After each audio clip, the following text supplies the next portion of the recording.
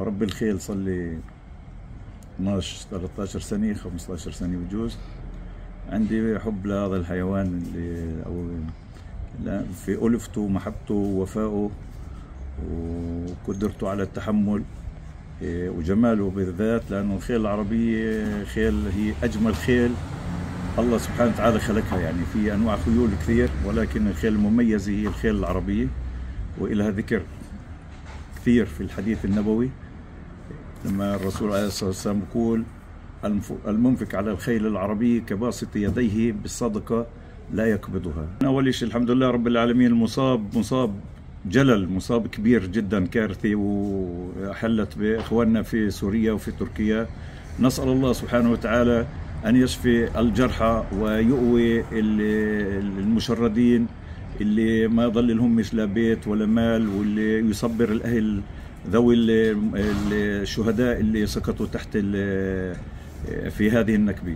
ولكن الحقيقة أنه في البداية يعني لما الواحد شاف الصور الكارثية الصور اللي يعني يتشقق ويتصدع لها القلب بسبب يعني قديش هي صعبة ومؤلمة. إيه، لابد إنه الإنسان طوال يقوم ويبدأ يجمع بنفسه من أجل إنه قديش بيقدر يساعد. لأنه إحنا بال بالأول وفي الآخر آه، إحنا بشر وإنسان والإنسان له قلب. وإحنا ناس اللي هم الحمد لله رب العالمين مسلمين من أمة سيدنا محمد عليه الصلاة والسلام اللي هي أمة الرحمة. يعني إذا الله سبحانه وتعالى قال وإن أحد من المشركين استجرك فأجره. من المشركين. آه فكيف إذا واحد من المسلمين استجار واستغاث؟ واجب علينا إحنا قمنا بالواجب. آه، شفت حسبت حالي قديش أنا بقدر أقدم قدمت اللي بقدر عليه.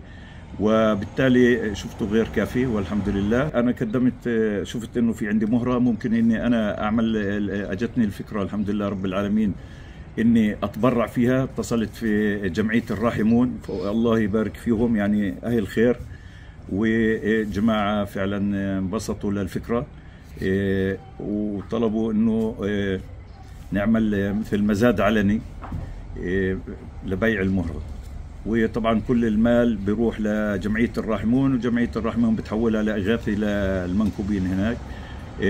شافوا إنه التدخل الأخ الكريم نادر خرز في مربط الملوك في ام الفحم عنده علاقات وعنده إمكانية لإنه يقوم بهذا المشروع المزاد العلني مع إخوة من القدس. إيه، وصار المزاد العلني ووقع شو اسمه النصيب لأخ من القدس من بيت حنينة اللي هو اجى وأخذها وإن شاء الله مباركة.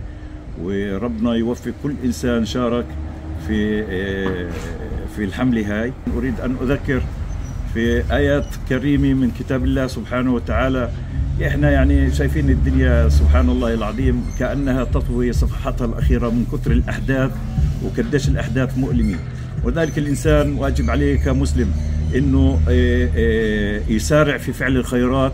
هذا زمن توبة. الله سبحانه وتعالى أعطانا فرصة كزمن توبة. والله سبحانه وتعالى يقول كل الذين آمنوا يقيموا الصلاة وينفق مما رزقناهم سرا وعلانية من قبل أن يأتي يوم لا بيع فيه ولا خلال. قال الله سبحانه وتعالى يا أيها الذين آمنوا أنفقوا مما رزقناكم من قبل أن يأتي يوم لا بيع فيه ولا خلة ولا شفاعة.